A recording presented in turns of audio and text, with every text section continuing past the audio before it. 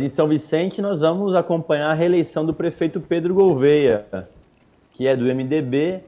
mas vocês sabem da, da ligação que existe entre nós e o prefeito, né? além da relação familiar, é, o prefeito desde o início foi filiado do PSB, saiu por uma circunstância lá atrás e a gente entendeu por bem que era importante também que ele pudesse estar numa outra agremiação,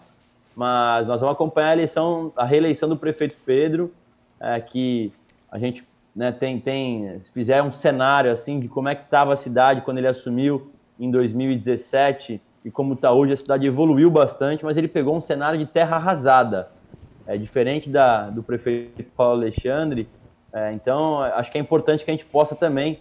renovar essa chance dele poder melhorar ainda mais a cidade. Tem muita coisa para se fazer ainda, mas eu penso que nós vamos estar num período de pós-pandemia. É importante que a gente tenha alguém que conheça é, com profundidade os problemas da cidade, os números em relação ao que pode ser feito, o que precisa ser feito ainda. Então, por esse motivo,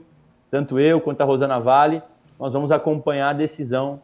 é, do partido local aqui de São Vicente em acompanhar a reeleição do prefeito Pedro e devemos, inclusive, indicar o nome para a vice-prefeitura.